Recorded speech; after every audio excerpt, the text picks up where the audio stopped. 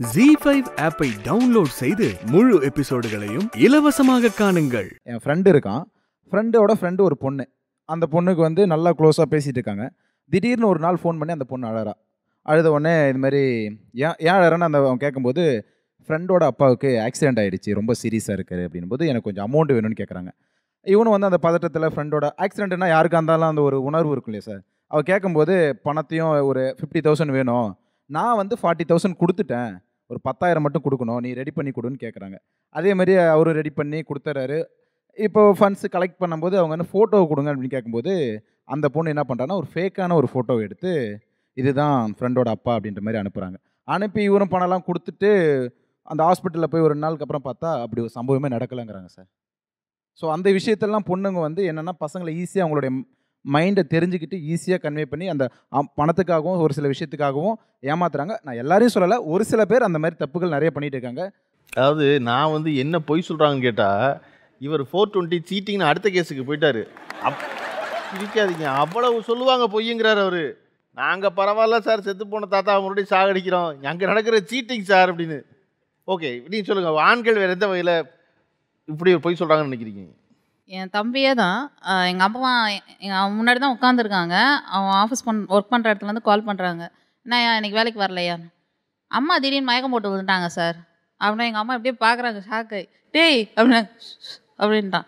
அம்மா மயக்கம் போட்டு வந்துட்டாங்க சார் ஹாஸ்பிட்டலில் கொண்டு போய் சேர்த்துருக்கோம் ஈவினிங் தான் சார் தெரியும் என்னென்னு பிரச்சனைன்ட்டு. பிபி ஹை ஆகிடுச்சு போல இருக்கு சார் ரொம்ப சீரியஸாக பேசிட்டு அவன் பாட்டு ஃபோனை வச்சுட்டு டிவி பார்த்துட்டு இருக்கான் கூலாக இது ஏன் முன்னாடி தான் நடக்குது. நம்ம என்ன பேச முடியும் அந்த டே ஓ. நீங்கள் ஆண்களில் வந்து தம்பியே அப்படித்தான் சொல்கிறாங்கிறனால அதை மனசில் வச்சு தான் வந்து கணவனை மன்னிக்கிறது. சார் அவரே சொல்லியிருக்காரு சார். அவரே ஒரு போய் சொல்லியிருக்காரு. என் பொண்ணு என் பொண்ணு கூட சொன்னான். அன்னைக்கு நான் ஆஃபீஸ் போயிட்டேன். இவர் வீட்டில் இருந்திருக்கார் லீவ் எடுத்துட்டு. அப்போது வந்து கொலைக்கு வந்து கேட்டிருக்காங்க என்னய்யா திடீர்னு லீவுன்னு என் பொண்ணு சைக்கிள்லேருந்து கீழே வந்து மண்டை உடஞ்சிச்சுன்னு சொல்லியிருக்கா சார். என் பொண்ணு இன்ன வரைக்கும் சொல்லுவான் பா எனக்கு மண்டை உடச்சுன்னு சொல்லி என் முன்னாடியே சொன்னீங்களப்பா. இதே மாதிரி தான் சார். எனக்கு உடம்பு முடியலன்னு சொல்லிட்டு அவங்க ஆஃபீஸில் லீவ் கேட்டு வாங்குறாங்க. அப்போ நான் மண்டை உடஞ்சுன்னு சொல்லக்கூடாதா? என்னங்க நீங்க- நீங்க- நீங்க ஏற்கனவே இவருக்கு மண்டை உடைச்சுன்னு சொல்லிட்டீங்களா? இல்லை சார். நான் அப்படிலாம் சொன்னதில்ல. இப்போ ஏதாவது ஒரு இன்டர்வியூக்கு போகிறேன் அப்படின்னு சொன்னாக்க எந்த கம்பெனிலையும் லீவ் கொடுக்க மாட்டாங்க.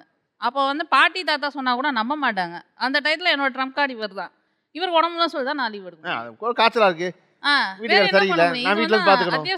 அது சொல்றதே நான் அவங்க பேரை சொல்லாமல் என் பொண்ணு பேரை சொன்னேன்.